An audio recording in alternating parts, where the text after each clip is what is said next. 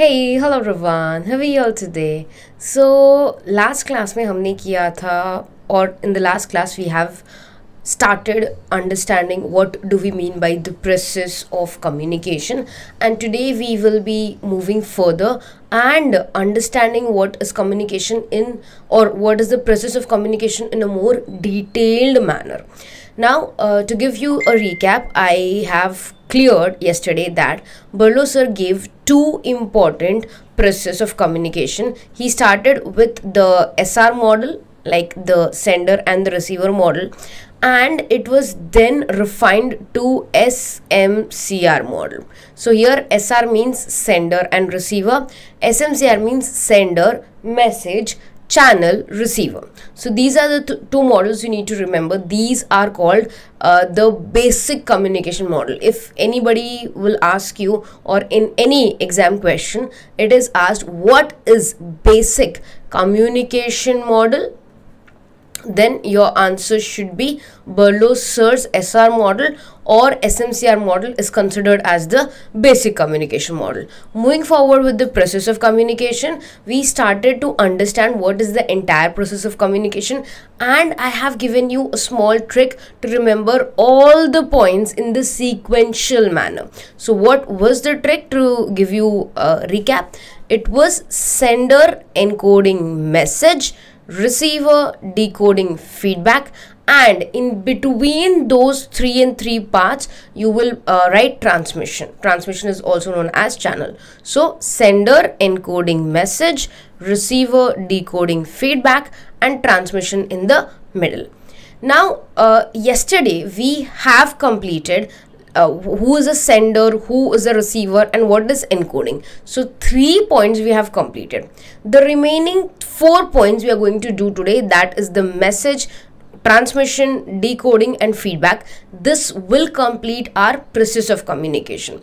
After process of communication, we'll start with various types of communication, which is very, very interesting topic and important with reference to your examinations because types of communication is something very large topic and you can easily expect one or two questions from this thing. So let's start with our uh, today's topic that is the remaining points of process of communication. Now uh, sender is a person that uh, who originates the message who gives the message who you can say uh, sends the message.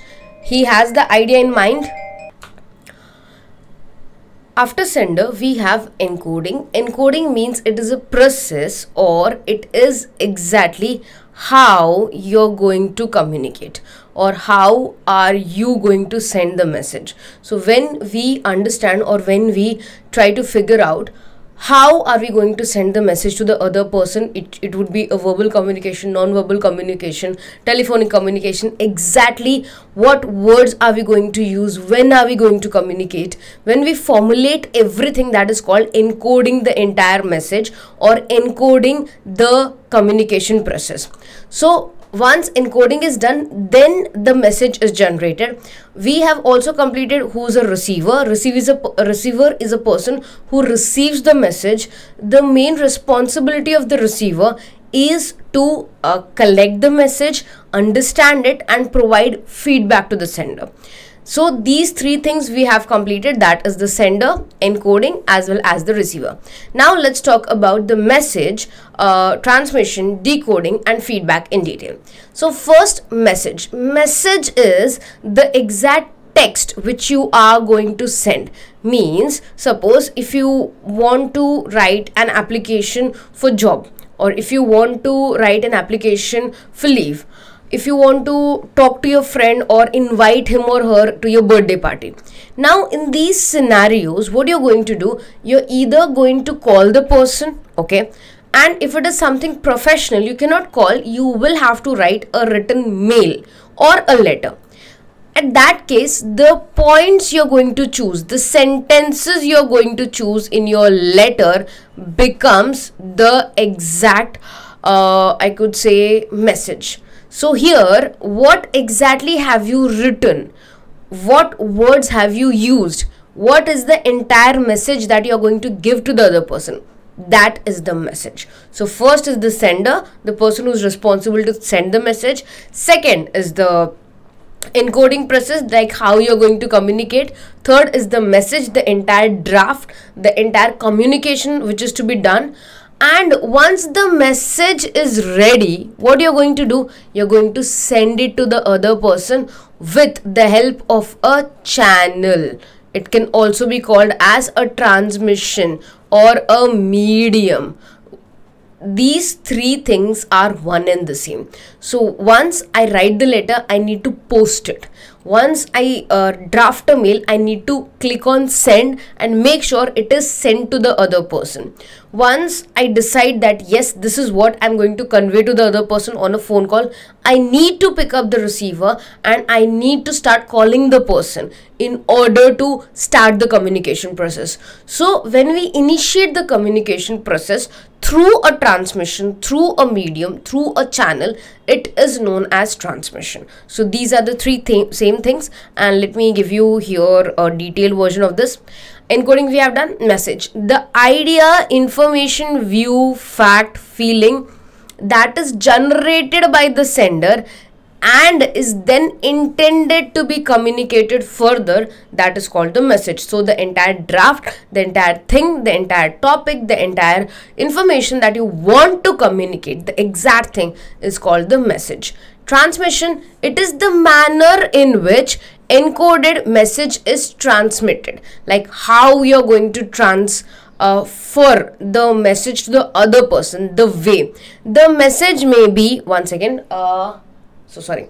The message may be orally uh, transmitted orally or in writing. The transmission of communication includes telephone, internet, post, fax, email. So how you're going to send the message to the other person, that is transmission. After transmission, we have the receiver that we have understood in the last lecture. Receiver is the uh, receiver is one person or the person who receives the message understands it and then responds or reacts accordingly okay so these are the th uh, things. After receiver we have two more important things that is decoding and feedback. Now decoding is exactly opposite to encoding. In encoding we try to formulate or we'll try to understand how do we uh, i'm really sorry how do we send the message? Or what would be the way to send the message? What words should you use? What medium should you use? So once you use the message and you send it to the other person the next would be decoding. The other person will try to understand. Once you have encoded the message and send it to the receiver then after decoding the message is received by the sender but before that receiving is happened. Okay there would be a confusion. I'll try to uh, solve the same. In many books there is given like we have the method that is sender encoding message receiver decoding feedback and transmission in between. This is our entire process. But in certain books, I have seen this. They have given a process which has sender encoding message, transmission, decoding, receiver feedback.